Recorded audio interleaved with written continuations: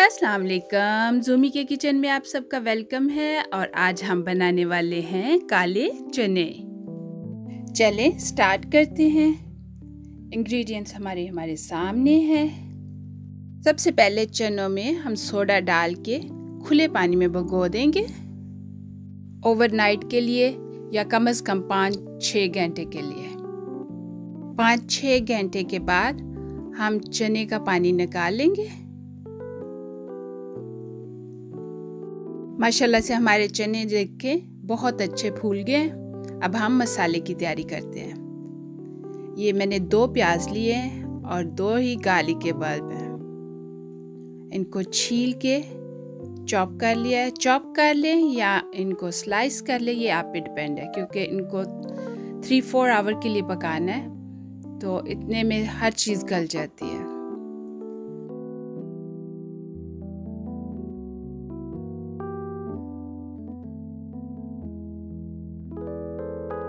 प्याज बहुत अच्छा स्लाइस हो चुका हुआ है। अब हम इसको देचकी में डाल देते हैं।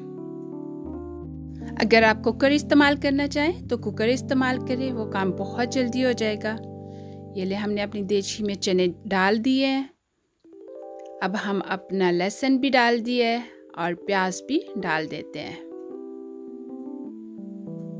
अब साथ ही हम अपने नमक, मिर्च, हल्दी, ज़ीरा और ब्लैक सीड्स, कलवंजी जिसे कहते हैं, वो भी साथ ही डाल देंगे।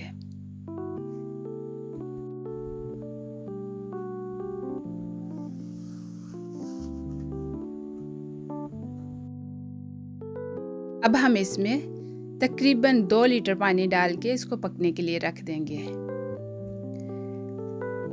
तेज आँच पे पकाएँगे, उबाल आ जाए तो फिर वेरी लो हीट पे हम पकाएँगे। थ्री से फोर आवर तब तक कि जब तक गल ना जाए अच्छी तरह। चलें, अब देखते हैं हम अपने चने। ये देखें, कितने सॉफ्ट हो गए हैं, माशाल्लाह से। वेरी सॉफ्ट हो चुके हुए हैं। हमारे तैयार हैं बिल्कुल चने। अब हम चनों का पानी निकाल लेंगे। ये हमने अपना पानी निकाल लिया है, जो हमारा नीचे से शोरबा बचा है, उसको हम साइड पे रख लेंगे। ये हमारे बाद में काम आएगा। देचकी में हमने ऑयल डाल दिए और सेम चने हमने इसमें डाल दिए वही वाले चने। अब हम इसको अच्छी तरह भूनेंगे ताकि मसाला जो है, वो मिक्स हो जाए।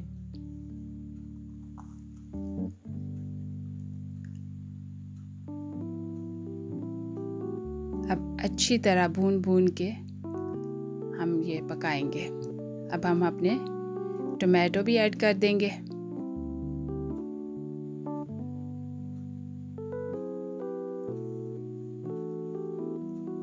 और अपनी सब्ज मिर्चें डाल देते हैं।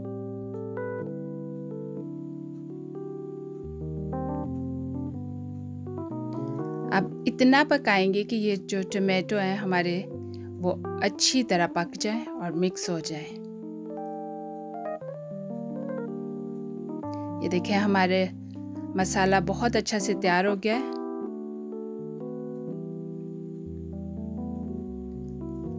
सब्सक्राइब और लाइक करना ना भूलिएगा।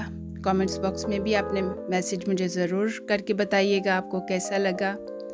ये मैंने ग्रीन चिली साबत डाल दी है। दरमियान में कट लगाया है और थोड़ा स्प्रिंग आनियन डाल दिया है। इससे बहुत अच्छी खुशबू होगी एक्स्ट्रा से। ये जंजर डाला है। हमारा बहुत अच्छा पक चुका हुआ है। अब हम इसमें अपना वही वाला पानी जो हमने निकाला था वो डाल देंगे। इसको चने की यखनी भी कह सकते हैं, शोरबा भी कह सकते हैं। अब सिर्फ़ पाँच मिनट के लिए हम पकाएँगे और हमारे काले चने तैयार हैं। ये देखें मैंने भुने हुए भी कुछ निकाले थे। ये बहुत मज़े के होते हैं भुने हुए। और मैंने शोरबे वाले दोनों तरह के बनाए हैं। अब आप भी बनाएँ और मुझे ज़रूर बताइएगा कि आपके चने कैसे बने। लाइक एंड सब्सक्राइब करना ना भूलिएगा। अल्लाह हाफिज़। मिलेंगे एक बहुत ही मज़ेदार न्यू रेसिपी के साथ।